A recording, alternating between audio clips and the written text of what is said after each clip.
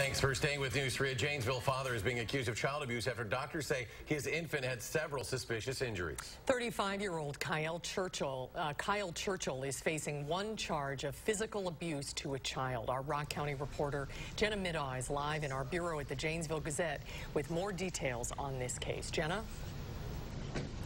Hi, Susan and Eric. Well, court documents show that Churchill's three-month-old baby had bruising on its mouth, as well as injuries on its mouth, as well as a bruised arm. And according to court documents, Churchill told police he was feeding the baby on May 1st when he pushed the further, the bottle further into its mouth and noticed the baby's gums started bleeding. Doctors say normal pressure with a bottle would not have caused such severe injuries.